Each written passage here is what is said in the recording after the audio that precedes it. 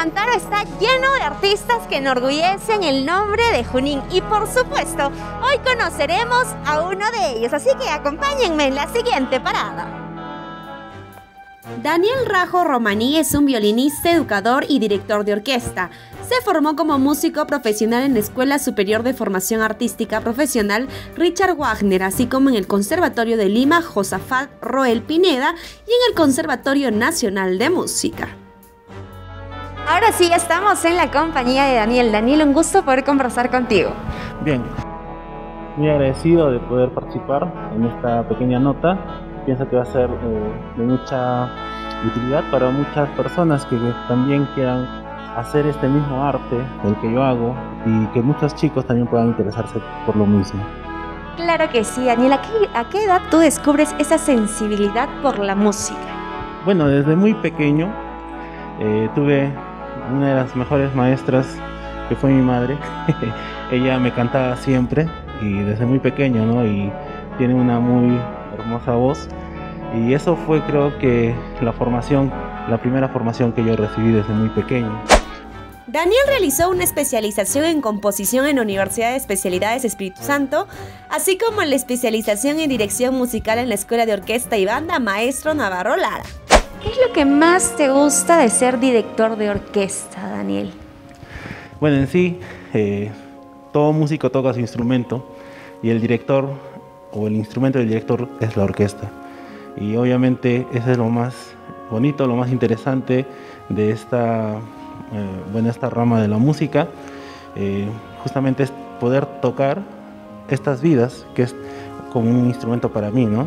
En conjunto, esta orquesta representa creo que el mejor instrumento que he tocado hasta ahora. ¿Y tú qué buscas impartir en tus alumnos con respecto a la música? Bueno, este, yo tengo claro que la música no es un arte para competir, sino es para compartir.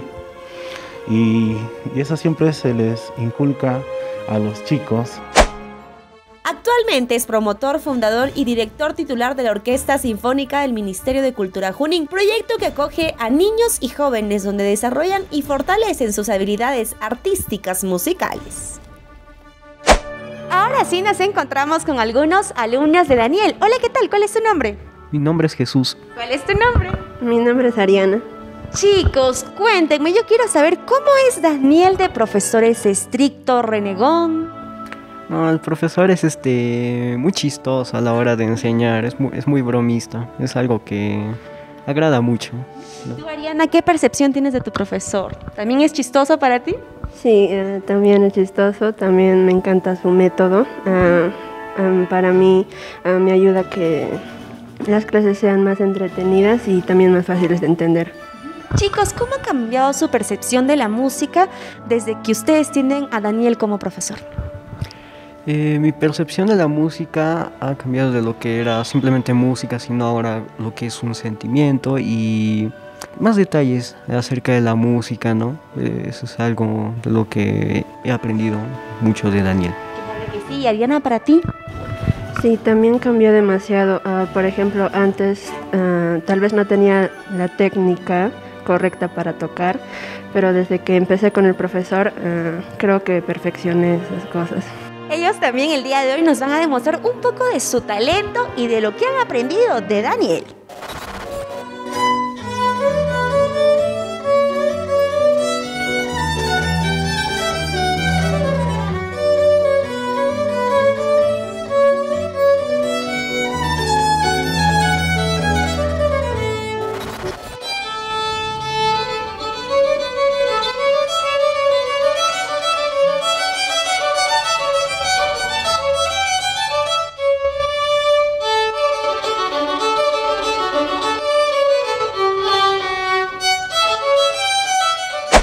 Definitivamente es un amante de lo que hace. En sus ojos se puede notar el amor a la música y el orgullo al ver a sus alumnos formarse en el mundo musical.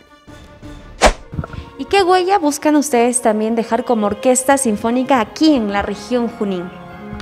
Bueno, ya en el tiempo que hemos ido trabajando, nos hemos consolidado como una orquesta referente en la región y somos la única orquesta del estado y justamente eh, esa es una gran fortaleza que nos permite poder trascender mucho más que tal vez eh, hasta de lo que nos proponemos porque a través del trabajo de orquesta damos formación, damos alcance a muchos niños y jóvenes, que uno de los objetivos y lineamientos de nuestro grupo es eh, alejar de la vulnerabilidad social a estos pequeños, ¿no?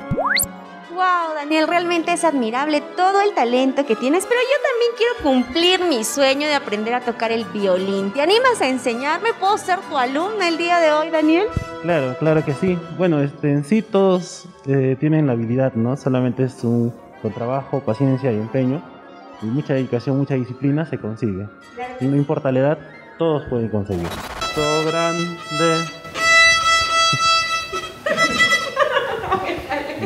La, intención es esa, ¿no? Pero con, con, calma y paciencia todo se puede conseguir, ¿no? Relajadita, no tengas miedo a las cámaras. ¿Ya? ¿Eh? Y vamos a cambiar de cuerda a la segunda levantando casi todo el bracito, un poquito nada más. Y lo mismo, zapatito grande. A ver. Contamos uno, bajamos el bracito a la primera cuerda. Zapatito grande. Muy bien, empezando hacia el piso. Tres, va. Zapatito. hacia el piso. Zapatito grande.